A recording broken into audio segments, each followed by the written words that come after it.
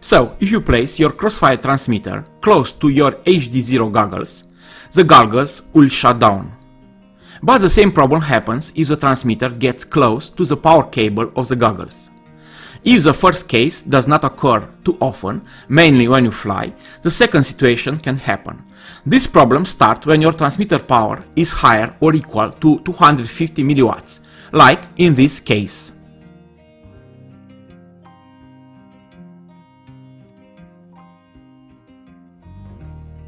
The same problem is encountered on Avatar HD goggles.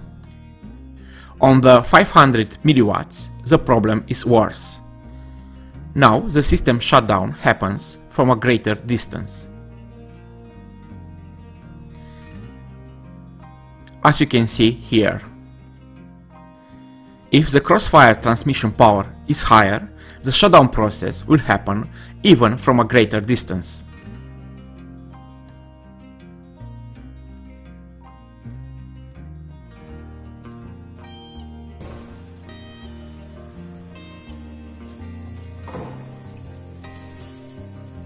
By placing a ferrite cable clip, you'll obtain a low-pass filter, and the electromagnetic interference radiated by the crossfire transmitter will be attenuated.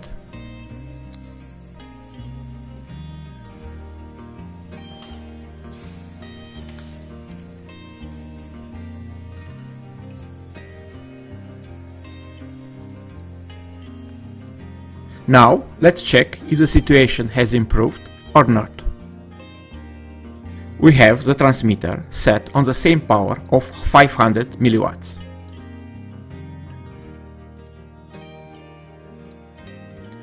By moving the radio across the power cable and close to the goggles, you see that now I must be closer to the goggles in order to shut down the system.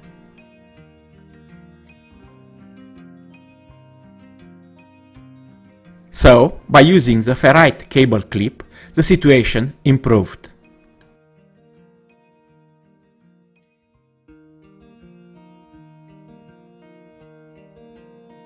In the next test, I will check the case when the crossfire transmission power is 250 milliwatts.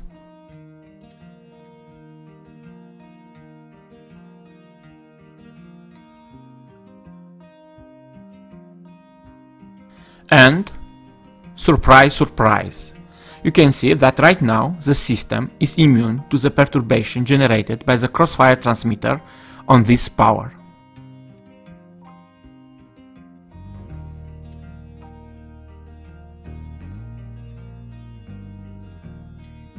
The schematic for this filter is straightforward.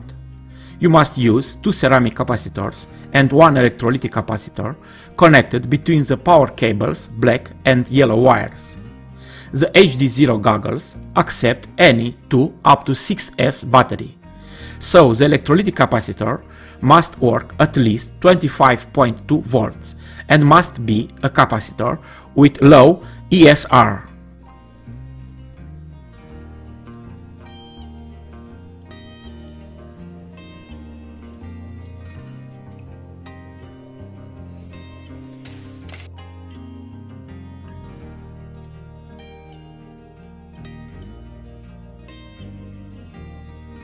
Now let's check if the situation has improved or not by using this low pass filter composed of several capacitors and one inductor.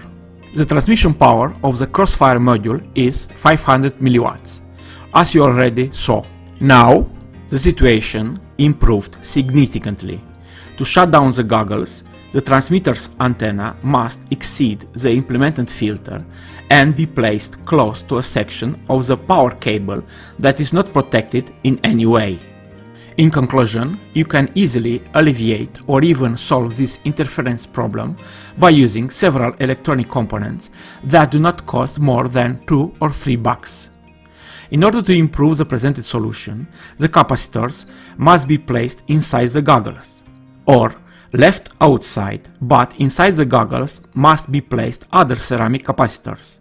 In this mode, you will implement a better pi-type filter.